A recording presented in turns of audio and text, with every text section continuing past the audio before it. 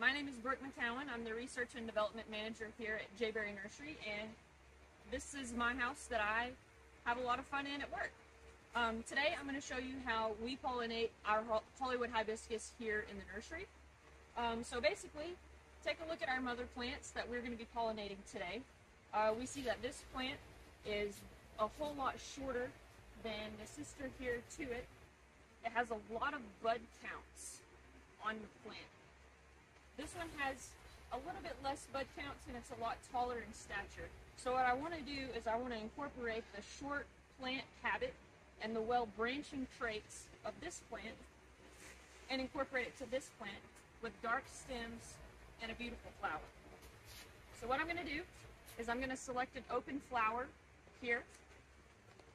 I'm going to remove the pistil like so.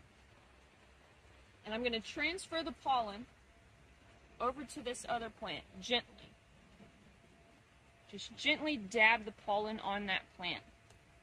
So now in order to know that this plant was pollinated, after a couple of days this flower is going to fall off. And we're not going to be able to tell which flower we pollinated unless we put a tag on it. So you'll see on other plants,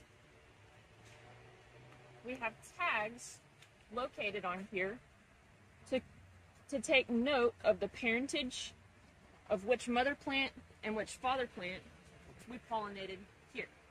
So I'm going to do that here in just a few minutes and indicate which one we pollinated.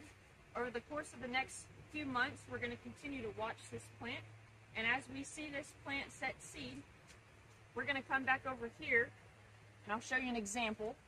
If it sets seed, this is going to close up just like this. We're going to continue to let it mature. And then once it's mature, we're going to break that off and collect the seed.